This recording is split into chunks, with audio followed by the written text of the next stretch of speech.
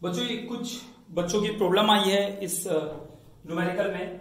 Numerical में पूछता है कि इतने मॉलिक्यूल्स का वॉल्यूम कितना होगा इस टेम्परेचर और इस प्रेशर पर। ओके पहले तो इलेवेंथ की जो फ़र्स्ट यूनिट है बच्चों, उसके बारे में मैं बता दूँ कि इसमें बहुत सारे कंसेप्ट ऐसे हैं जो आप केमिस्ट्री में आगे पढ़ते हैं। वो सारे चीज़ें आपको आगे, जब आप जैसे जैसे हमारा सिलेबस आगे बढ़ता जाएगा, तब आपको क्लियर होगा। मेरा कहने का मतलब यह है कि यहाँ बहुत सारी चीज़ें आपको क्रैम करनी पड़ेगी।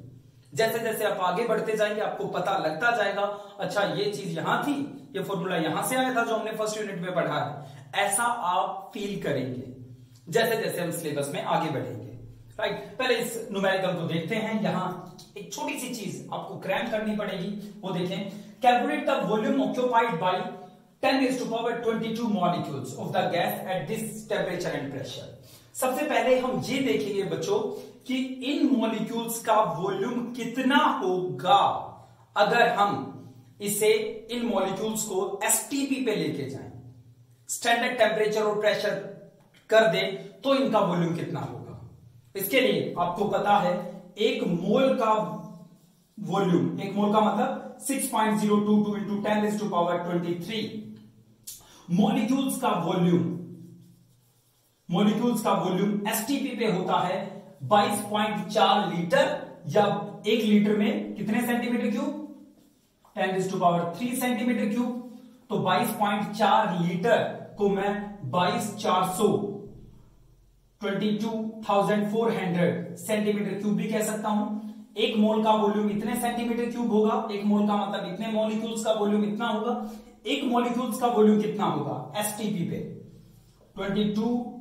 22,400 upon 6.022 into ten to power 23 इतना सेंटीमीटर क्यूब? मेरे पास टोटल मॉलिक्यूल है ten to power 22 ten to power 22 molecules का वॉल्यूम कितना होगा? 22,400 upon 6.022 into 10 is to power 23 into 10 is to power 22 centimetre cube ये वॉल्यूम होगा इन मॉलिक्यूल्स का अगर ये मॉलिक्यूल्स एसटीपी पे हो। स्टैंडर्ड टेम्परेचर और प्रेशर हो एसटीपी एसटीपी का मतलब टेम्परेचर कितना? 273 केल्विन ही कहता है system international system of unit कहता है कि टेम्परेचर को कैलविन में कैलकुलेट करो. कैलकुलेट में कैलविन में बताओ तो हमने टेम्परेचर को kelvin 273 kelvin pressure one atmospheric one atmospheric pressure 760 mm के बराबर भी होता है. ओके तो ये सारी चीज़ें, जैसे 760 सिक्सटी mm कहाँ से आया? 273 कहाँ से आया ये? राइट अजीब सी बात है। 270 कर देते 250 कर देते। राइट एक ज़ीरो डिग्री सेल्सियस में 273 कैलविन क्यों होते हैं? ये सारी बातें आपको सिलेबस जैसे जैसे आगे बढ़ता जाएगा, तब आपको पता लगेगी। ओके खैर, फ़िलहाल हमने ये देखा कि मेरे मॉलिक्यूल इतने मॉलिक्यूल एसटीपी पे इतना वॉल्यूम ऑक्यूपाई करेंगे। इसको सोल्व करोगे तो ये लगभग 372.1 सेंटीमीटर क्यूब आएगा ओके राइट अब एक छोटा सा फॉर्मूला जो बाकी न्यूमेरिकल्स में भी आपकी हेल्प करेगा, वो यहाँ यूज़ करना है। P1 one B one by T one equal to P two V two by T two पहले तो देखिए बच्चों, ये फॉर्मूला कहना क्या चाहता है? बता क्या रहा है? ये कहता है, अगर आपके पास प्रेशर इतना है किसी गैस का। एक डब्बा है, डब्बे के अंदर गैस है और गैस इतना प्रेशर एग्जर्ट कर रही है। वॉल्यूम इतना है, उस डब्बे का वॉल्यूम क्योंकि जो डब्बे का वॉल्यूम होगा, वही उस गैस का वॉल्यूम भी होगा। गैस का वॉल्यूम उतना होता है जितना उस जगह का जहाँ वो है। अगर वो किसी डब्बे में है तो जो डब्बे का वॉल्यूम वही गैस का वॉल्यूम उस गैस का प्रेशर इतना है वॉल्यूम इतना है और आसपास का टेम्परेचर टी वन है। आपने टेम्परेचर चेंज कर दिया। सपोज़ आपने टेम्परेचर चेंज कर दिया और उसे टी टू कर दिया। राइट आपने वहाँ, उस डब्बे का साइज़ थोड़ा सा बढ़ा दिया। मतलब वॉल्यूम V1 से चेंज करके V2 कर दिया। अब उसका प्रेशर भी बदल जाएगा।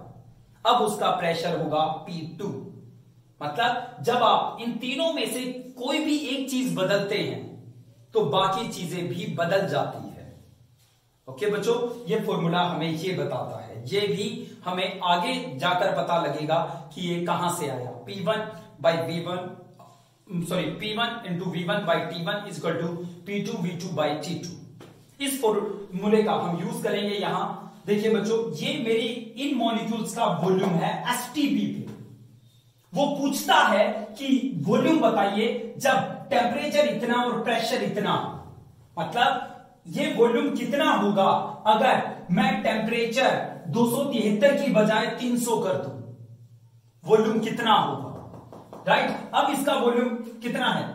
प्रेशर प्रेशर अगर मैं 760 लेता हूँ मतलब एसटीपी की बात कर रहा हूँ 180 एटीएम का मतलब 760 एम एम टेम्परेचर कितना? दो सौ तिहत्तर अगर मैं लेता हूँ, तब इस, इन मॉलिक्यूल्स का वॉल्यूम होता है 372.1 अगर मैं प्रेशर उतना ही रखूँ 760 तो वॉल्यूम कितना हो जाएगा? अगर टेम्परेचर दो सौ तिहत्तर से 300 कर दो। दोबारा सुनो बच्चों, ये वो वॉल्यूम है जो इन मॉलिक्यूल्स का होता है एसटीपी पे। एसटीपी का मतलब इस टेम्परेचर और इस प्रेशर पर।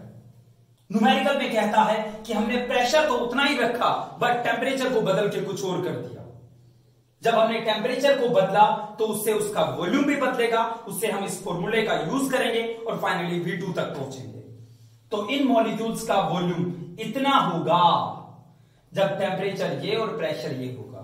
तो यहाँ से आप 760 से 760 कैंसिल आउट कर देंगे। V2 आ जाएगा 372.1 बाई 273 300 इस साइड आ गया इंटू 300 राइट बच्चों, इसे सोल्व करेंगे। आपका आंसर आएगा आंसर मिलेगा 408 408 पॉइंट समथिंग सेंटीमीटर क्यूब ये आंसर है। आई होप आपको समझ में आया होगा, बच्चों। बच्चों नंबर ऑफ़ मोल्स का फॉर्मूला होता है weight upon molar mass for example जैसे मोल कंसेप्ट का जो वीडियो है वहाँ हमने देखा भी है। जैसे अगर मेरे पास कार्बन वन मोल है वन मोल कार्बन है तो इसका मतलब मेरे पास 12 ग्राम कार्बन है। मेरे पास 12 ग्राम कार्बन है इसका मतलब मेरे पास एक मोल कार्बन है। ओके आ, ऐसे ही अगर मैं मैं हम ये निकालने की कोशिश कर रहे हैं जानने की कोशिश कर रहे हैं कि फॉर्मूला कहाँ से आया है। ओके सपोज़ बच्चों हमारे पास 36 ग्राम कार्बन है। और आपसे किसी ने पूछा तो कितने मोल कार्बन है आपके पास? आपसे किसी ने ये पूछा 36 ग्राम कार्बन है। तो आपने कहा, देखिए 12 ग्राम अगर कार्बन होता तो मेरे पास वन मोल कार्बन होता। अगर मेरे पास एक ग्राम कार्बन होता तो one upon twelve mole carbon होता। अगर मेरे पास 36 ग्राम कार्बन है तो इसका मतलब मेरे पास one by twelve into thirty mole carbon है। थ्री थ्री मोल कार्बन यहाँ अगर आप ध्यान से देखें तो जो वेट आपके पास है, आपने उसे, उसके एटॉमिक मास से डिवाइड कर दिया। इससे आपके पास मोल आ गए तो किसी भी जगह अगर हमें यह निकालना है कि उस सब्सटेंस के कितने मोल प्रेजेंट है तो हमें उसके एटॉमिक मास या मोलिकुलर मास से उसको डिवाइड कर देना है। जितना वेट आपके पास है, उसको, उसके मोलिकुलर मास या एटॉमिक मास से डिवाइड कर देना है। उससे आपको नंबर ऑफ़ मोल्स पता लग जाएँगे। जैसे अगर मैं कहूँ कि मेरे पास 196 196 ग्राम सल्फ्यूरिक एसिड है। तो बताइए कितने मोल सल्फ्यूरिक एसिड है? 196 ग्राम सल्फ्यूरिक एसिड है। तो बताइए कितने मोल सल्फ्यूरिक एसिड है? तो हम कैसे करेंगे इसे? 196 पहले तो इसका मोलिकुलर मास निकालते हैं। हाइड्रोजन का एक, दो हाइड्रोजन है प्लस सल्फ़र 32 सल्फ़र का एटॉमिक नंबर 16 एटॉमिक मास 32 32 होता है प्लस एक ही है सल्फ़र इसलिए हमने इसे किसी से मल्टीप्लाई नहीं किया। ऑक्सीजन का एटॉमिक मास 16 हमारे पास चार ऑक्सीजन है राइट तो टोटल आ जाएगा 98 98 ग्राम पर मोल भी मैं कह सकता हूँ, ये मोलिकुलर मास या एटॉमिक मास की यूनिट होती है। मतलब इतने ग्राम एक मोल के बराबर होता है राइट किसी भी सब्सटेंस का जो एटॉमिक मास होता है, उतने ग्राम अगर आप चीज़ ले लेते हैं, या मोलिकुलर मास जितना होता है, उतने ग्राम अगर चीज़ ले लेते हैं तो आपके पास वो चीज़ एक मोल है। अगर मैंने सल्फ्यूरिक एसिड का मोलर मास 98 निकाला और मैंने 98 ग्राम सल्फ्यूरिक एसिड ले लिया तो उसमें एक मोल आएगा वो। तो 98 ग्राम का मतलब एक मोल तो मैं इसे ऐसे भी लिख सकता हूँ कि इसकी यूनिट होगी ग्राम पर मोल यानी 98 ग्राम एक मोल के बराबर होगा। तो याद रखना बच्चों एटॉमिक मास या मोलर मास की यूनिट होती है ग्राम पर मोल ओके सुनिए तो। अब हमें नंबर ऑफ़ मोल्स निकालना है सल्फ्यूरिक एसिड का, जो हमारे पास 196 ग्राम है। तो नंबर ऑफ़ मोल्स का फॉर्मूला होता है मास जितना मेरे पास है, मेरे पास एक सौ छियानवे ग्राम 196 ग्राम है अपॉन 98 जो कि इसका मोलिकुलर मास होता है। तो यहाँ से आ गया दो, यानी दो मोल। सल्फ्यूरिक एसिड मेरे पास है। अगर 196 ग्राम सल्फ्यूरिक एसिड की हम बात करें तो। ओके? तो ये है बच्चों। देखिए तो आप में से एक बच्चे ने ये प्रॉब्लम पूछी है। उन्होंने कहा है कि एक क्वेश्चन है जिसमें 1.43 ग्राम